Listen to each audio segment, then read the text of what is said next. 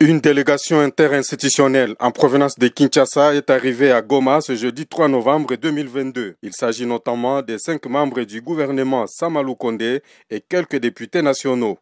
Selon le ministre de la Défense nationale Gilbert Kabanda, qui dirige la délégation, leur mission a deux volets. Il est d'abord question d'apporter de l'assistance humanitaire en faveur des déplacés des guerres imposés par les Rwandais. Ensuite, le ministre de la Défense va faire l'inspection des opérations qui se déroulent sur le terrain. Deux missions. La première, une mission humanitaire pour euh, notre population sinistrée par la guerre. La deuxième, une, mission d'inspection du ministre de la Défense nationale concernant la conduite des opérations. Soulignons que la délégation a été accueillie à l'aéroport international de Goma par le gouverneur militaire du Nord Kivu, Constantin Makongba, entouré des membres du comité provincial de sécurité. Précisons que pour les comptes du gouvernement de la République, on note la présence des ministres Modeste Moutinga des Affaires humanitaires, Julien Paloukou de l'Industrie, Désiré Birianze de l'Agriculture et Mourindo Nzangi de l'ESU, sans oublier les chefs de la délégation.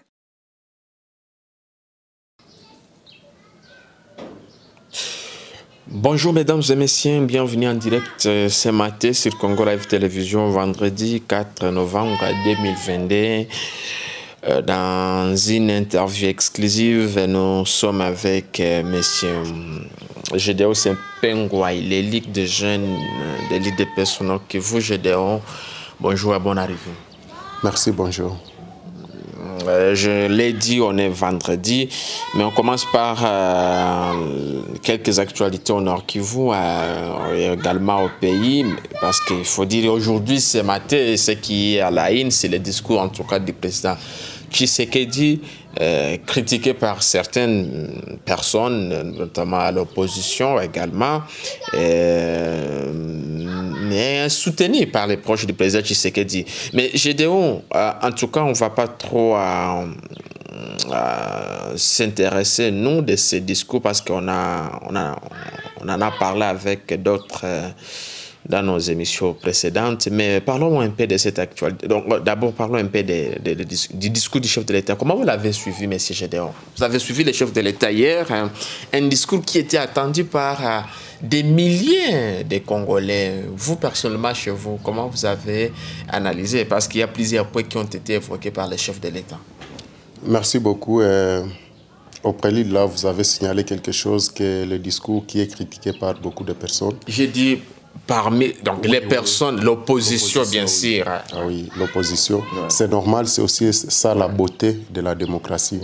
Euh, de notre côté, tous les peuples en République démocratique du Congo ils sont attentifs à ces discours. Mhm. Évidemment, un discours euh, qui a retracé euh, la réalité sur les contours de la paix et la sécurité dans, dans notre région il a montré comment euh, il a commencé, il a montré la bonne foi pour euh, la question de la paix et de la sécurité chez nous. Mhm.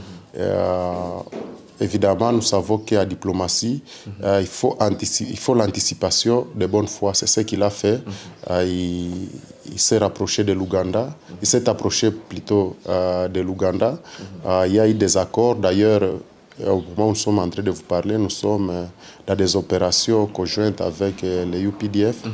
Mais il y a eu des accords pour la reconstruction de, de nos routes et autres euh, pour des réseaux économiques. On a pensé que cela pouvait nous ramener la paix. Mhm. C'était sa quête, évidemment. il a parlé aussi de c'est la question du Rwanda avec les accords qui, qui, avaient été signés pour l'exploitation aussi de l'or euh, avec une, entreprise, euh, au niveau national.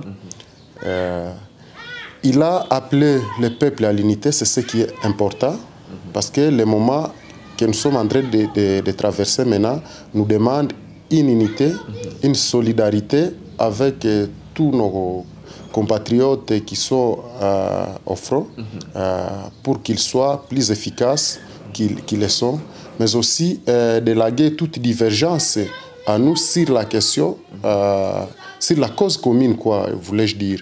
C'est tellement important. Euh, tout ce qu'il a dit vraiment, sauf que euh, les gens attendaient peut-être plus que ça parce que... Euh, Et vous, vous attendiez à quoi, GDO Est-ce que c'est que les chefs de l'État disent c'est ce que vous attendiez, vous, vous en tant que quelqu'un de presse? Oui, on attendait parce qu'il a réorienté, il a réorienté la population. Et quand il vous a appelé euh, d'éviter la xénophobie, il sait pourquoi. Vous aussi, vous le savez. Parce que si aujourd'hui vous demandez à Kagame quelles sont vos revendications aujourd'hui à République démocratique du Congo, il vous dira qu'il est en train de vouloir protéger euh, un peuple qui parle Kinyarwanda au Congo. Et donc, ça, c'est leur lobbying. Il, c'est le discours qui est éparpillé un peu partout pour dire qu'il y a un peuple qui est discriminé que lui vient à la rescousse euh, de ce peuple.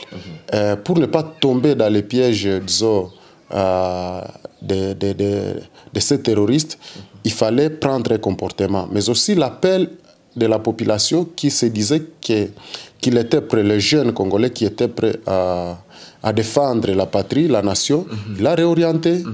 Il a réorienté les, les, appels de, de rejoindre l'armée, mais aussi de nous constituer à clair pour... Revenons un, peu, revenons un peu sur ce discours. Le chef de l'État Tshisekedi a appelé, en tout cas hier jeudi 3 novembre, les Congolais à se mobiliser contre l'agression rwandaise via les M23 dans le territoire de retour au Nord Kivu. Il a lancé cet appel dans un message sur les antennes de la RTNC, qui est une chaîne officielle, il a dit, je cite, nous devons ensemble avoir conscience que ni l'autre que nous-mêmes ne viendra sauver notre nation et que cela exige de chacun de nous une mobilisation tous azimuts. Ne doutons jamais qu'ensemble, réfléchis et engagés, nous puissions en tout cas changer le monde, a recommandé Félix Tshisekedi, le chef de l'État, qui a d'ailleurs réitérer son engagement constitutionnel de défendre la, euh, la patrie jusqu'au sacrifice suprême. Il faut préciser en tout cas que des milliers d'ailleurs de déplacés internes euh, sont déjà aux abords des Goma suite euh, aux affrontements qui se passent dans les retours. Mais par rapport à cet appel, comme on le disait, on a suivi encore le président réitérer en tout cas sa détermination et son engagement constitutionnel, M. Gédéon. Cet engagement, c'est lui de défendre la, euh, la patrie jusqu'au sacrifice suprême. Ça vous dit quoi? Ah oui, euh, c'est de cet engagement que qui, est d'ailleurs important. Euh, c'est ce que les gens attendaient et c'est ça son attitude. Je ne sais pas euh, qu'il l'a dit aujourd'hui, mais euh, il a toujours dit et il a toujours manifesté dans ses attitudes. si aujourd'hui il y a un bon comportement de nos militaires sur le terrain, c'est dit déjà aux attitudes du président qui a engagé d'en finir avec la nébuleuse M23. Euh, alors, euh, peut-être que les gens ont attendu qu'ils disent que nous déclarons la guerre avec les Rwandais. Soit la fermeture des la, frontières. La fermeture des frontières. je ne sais pas, des sanctions économiques et tout ça. Des, des, sanctions, quand même, ils, ils, ont déjà passé sur des sanctions. Il y a d'autres sanctions. Il y a d'autres, ouais. il y a d'autres peut-être sanctions ouais. qui qui, qui, qui encore euh, imposer. Est-ce que euh, c'est le fond euh, euh, disons, déclarer la guerre au Rwanda, ce n'est pas facile pour un chef de l'État. Hein? Pas que ce n'est pas facile, je pense qu'on est déjà à, guerre. Rien n'est point de, de, le déclarer encore parce que. Mais, euh, mais quand, par exemple, quand les, par exemple, le président Tshisekedi dit que les, les, les voies diplomatiques, euh, il a cité, je crois, quelques voies là, oui. euh, n'ont pas abouti et que du coup, on est maintenant dans une voie militaire. Est-ce que c'est c'est un message codé où il parle que déjà on est dans une guerre euh, Parce qu'on parle que les Rwandais agressent, parce qu'il déclare déjà la guerre, bon, et quand il prononce cela, est-ce qu'on peut dire que c'est une guerre déjà déclarée indirectement ou bien Parce que c'est un message codé, j'ai dit. Un peu d'éclaircissement. Oui, tout à fait. Là, il vous dit que euh, les, les, les, amis ont abusé de notre, de notre patience. Et à cela, euh, l'option militaire, euh, c'est c'est la seule option qui doit être privilégiée parce que euh, la voie diplomatique, il le considère comme un échec, bien qu'il a montré euh, sa bonne foi. Il voulait que les choses se passent d'une manière pacifique. Il a retracé quand même, euh, disons, certaines voies qu'il qui, a, qu'il a, qu'il a emprunté. Je, je, on, parle au Sénat, on connaît tous que on est passé par Nairobi, on est passé par Angola, jusqu'au point qu'ils euh, ont été euh, à face de, de, Macron pour les mêmes problèmes. Euh, à cela, les, la feuille de route un peu partout, on a imposé quand même euh, au Rwanda de retirer ses troupes à la République démocratique du Congo. Peu importe l'hypocrisie, mais au moins nous tenons sur ce qui a été dit et ce qui, ce que, sur ce qu'on s'était convenu.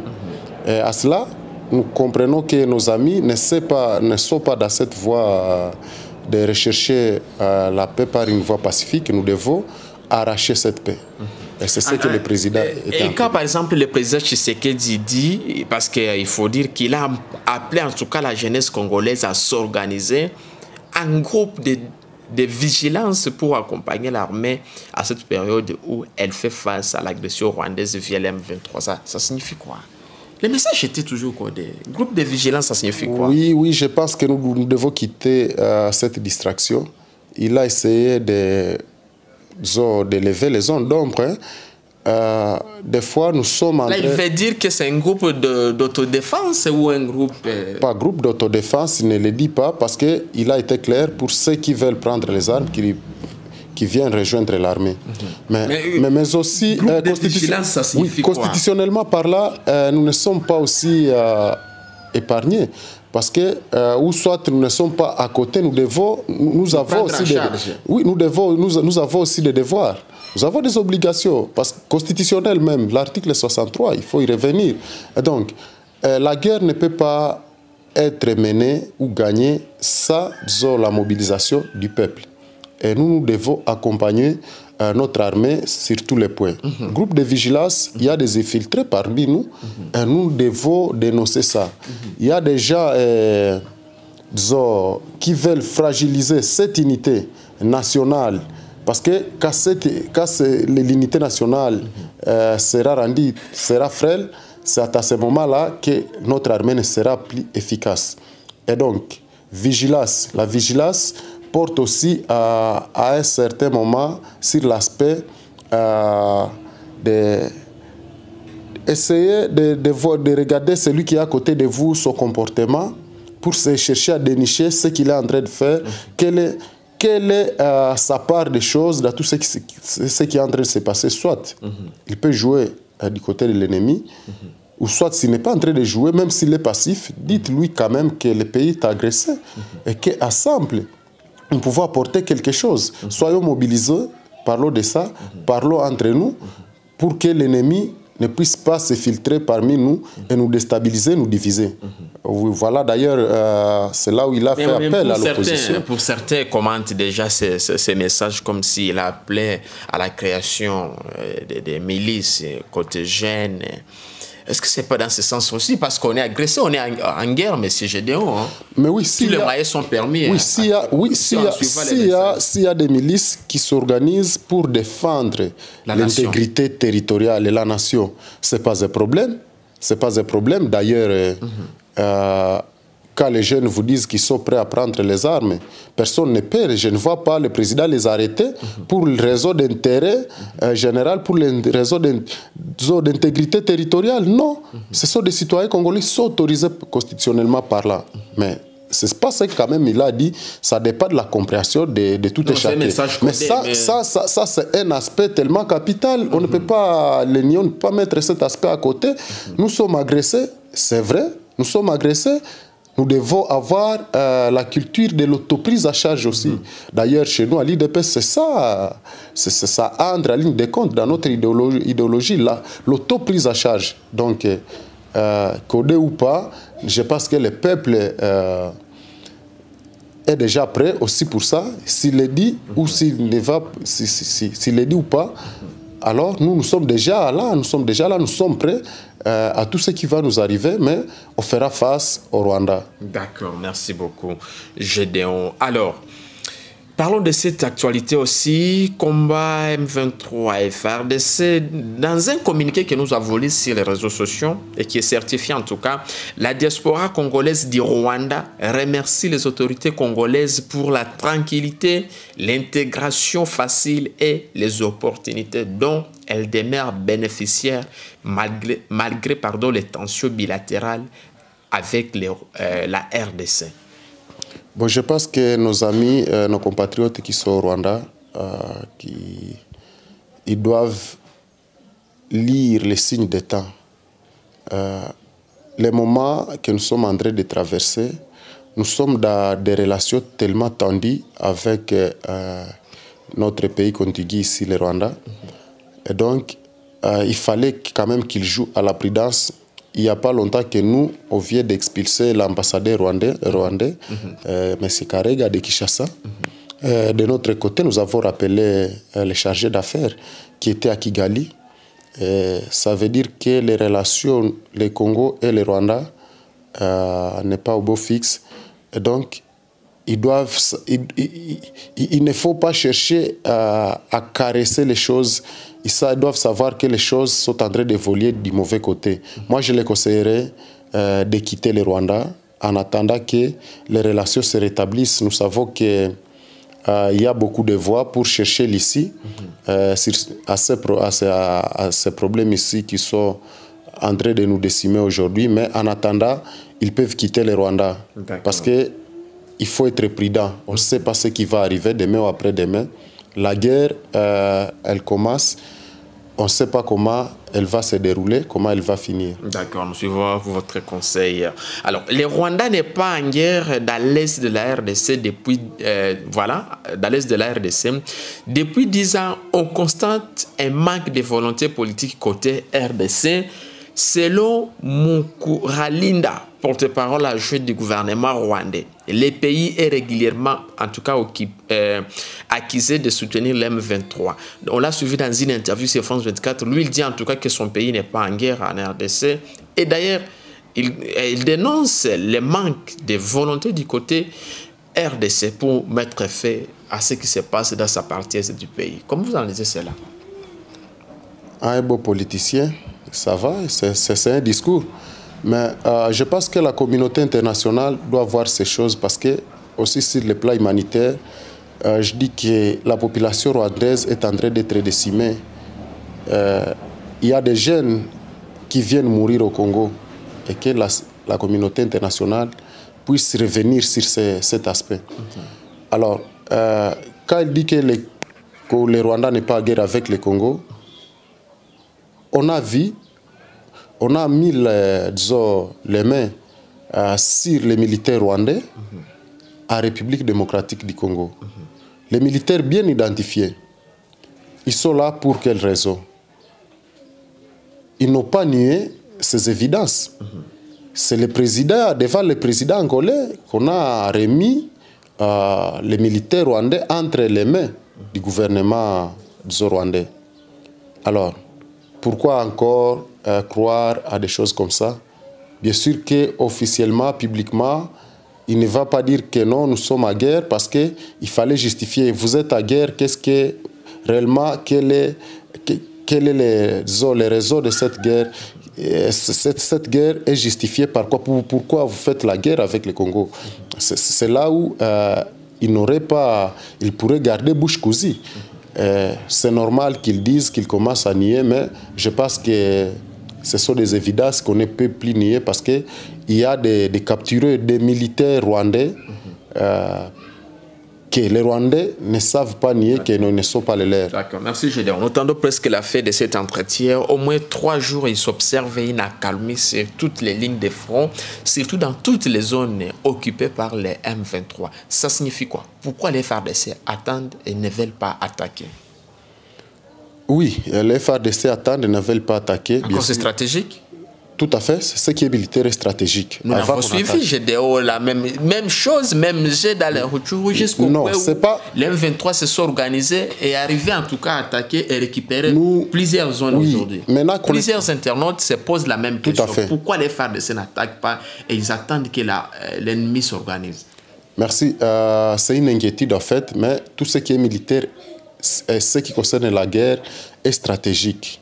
Et donc, il ne faut pas vous ennuyer quand on vous dit que c'est stratégique, parce que euh, elle le sera tout, tous les jours. Alors, euh, nous le regrettons la prise de, de, de, de Kiwanja, Centre. À quelques kilomètres de Goma. Pendant que Il faut préciser à quelques kilomètres de Goma. Oui, pendant que le, le, président de la République était en train de restructurer l'armée, voilà qu'encore on a vécu euh, d'énormes trahisons au niveau de là avec certains colonels chargés de, de la logistique.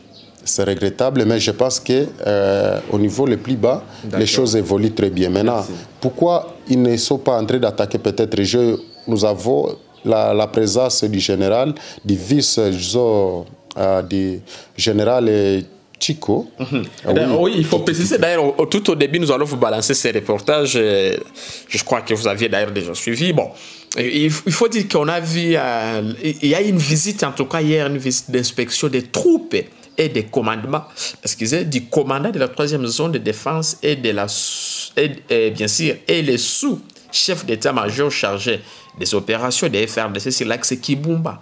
Dans les Nyiragongo hier, on a vu les, généraux, les généraux comme Chico, qui étaient sur terrain. Il y a eu les généraux également Marcellet. aussi les, chargés du troisième... Troisième zone de défense, voilà. Ils étaient en tout cas là, accompagnés de, plusieurs autres officiers, euh, pour essayer un peu d'inspecter. Euh, ils ont en tout cas, ils étaient sur le terrain, ça vous dit quoi? Oui, euh, je pense que les opérations seront relâchées avec force. Mais aujourd'hui, ce qui est important, c'est qu'on sait voir que dans les réseaux sociaux, il y a aussi une accalmie. Ça veut dire quoi? Le constat, c'est que le M23 a des bandades. Parce que je sais que quand le M23 essaie de bouger les lignes, ce sont les réseaux sociaux qui sont inondés. Et quand les réseaux sociaux sont tellement calmes comme ça, il n'y a pas de bruit, je vous dis que c'est le FRDC qui est en train de menacer. Mhm. Ça, c'est un constat et vous le ferez avec moi. Il n'y a pas qu'il y ait accalmie. Je pense que hier, euh, vers... Euh, euh, Katale, il, y a eu, des attaques, on a repoussé l'ennemi M23. Ça, on, nous avons comme information. C'est vous qui le dites. Oui, ça, si vous ne l'avez pas, je, vous le donne. Euh, on ne peut pas dire qu'on a fait trois jours ça. Euh, sans attaquer, attendre Mais on sait que toutes les zones occupées, en tout cas par les M23, il y, a, un calme précaire qui règne là. Je, vous donne l'exemple de Kako. Aujourd'hui, on attend encore ce qui va se passer. Mhm. Et je sais que les chefs et sur le terrain pour, pour, pour, pour, relancer les, les, offensives avec force. Mhm. Euh, l'ennemi, je pense qu'il sera, qui sera bouté et il sera, disons, euh, défait militairement et il va se retirer dans toutes les zones qu'il est, en train d'occuper, ça c'est sûr. Merci Gédéon. C'est ça les souhaits d'ailleurs de tous les Congolais, de vrais Congolais, il faut le préciser. Merci, on ne pas votre numéro de téléphone Gédéon. Merci toujours sur le 09 90 74 63 54. Faites de cet entretien, merci de nous avoir regardé, mesdames et messieurs. Je vous fixe rendez-vous dans les heures qui suivent pour un nouveau numéro. Restez à l'écoute en tout cas des Congo Live Télévision. Merci. Surtout, abonnez-vous pour ne rien rater, mesdames et messieurs. Alors, lâchez vos commentaires et abonnez-vous. Nous vous disons tout à l'heure. Merci.